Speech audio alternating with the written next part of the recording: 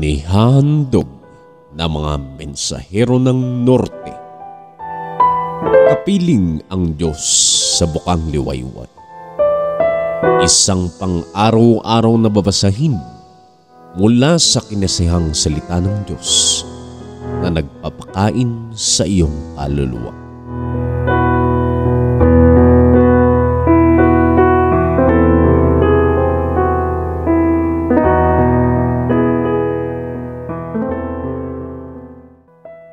Ikadalawamput dalawa ng Hunyo taong dalawang libo dalawamput dalawa.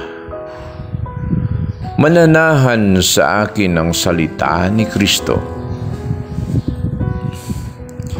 Manirahan nawang sagana sa inyo ang salita ni Kristo ayon sa lahat ng karunungan magturo at magpaalalahanan kayo sa isa't isa sa pamamagitan ng mga salmo at ng mga himno at mga awiting espiritual na umaawit na may pasasalamat sa Diyos sa inyong mga puso.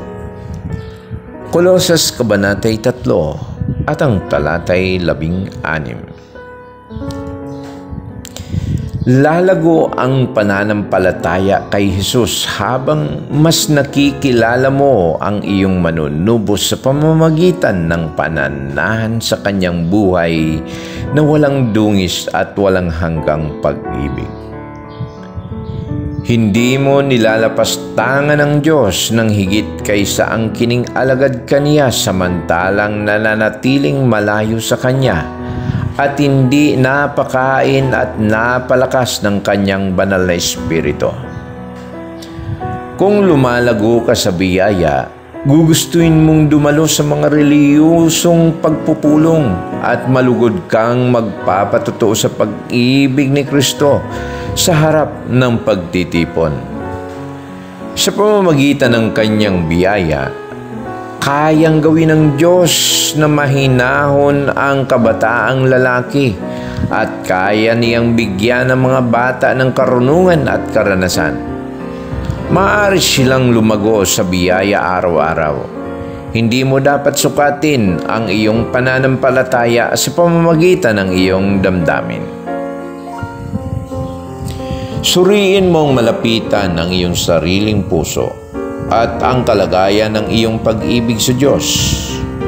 Tanungin mo, itinalaga ko ba ang mahalagang sandali ng araw ngayon sa pagsusumikap na bigyang lugod ang aking sarili, paghahanap sa aking sariling libangan? O napasaya ko ba ang ibang tao? Natulungan ko ba silang may kaugnayan sa akin patungo sa higit na katapatan sa Diyos at pahalagahan ng mga bagay na walang hanggan? Dinala ko ba ang aking relihiyon sa tahanan ko? At dooy inihayag ang biyaya ni Kristo sa aking mga salita at pagkilos? Pinararangalan ko ba ang aking mga magulang sa pamamagitan ng magalang na pagsunod? At sa gayoy sinusunod ang ikalimang utos? Masaya ko bang ginagampanan na ang maliliit na mga tungkulin sa bawat araw na ginagawa ang mga ito na may katapatan na ginagawa ko iyong makapagpagaan sa pasanin ng iba? Inilayo ko ba ang aking mga labi mula sa masama at ang aking dila mula sa pagsasalita ng katusuhan?